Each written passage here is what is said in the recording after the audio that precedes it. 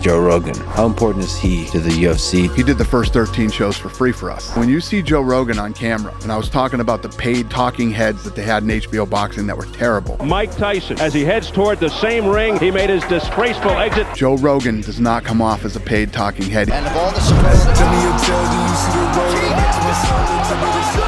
He comes off as a guy who loves this. He's the biggest podcaster in the world, and he is on the UFC 14 times a year, always talking about the sport. It's immeasurable what this guy has done for this company and the sport. Love you, Joe Rogan. I love you too.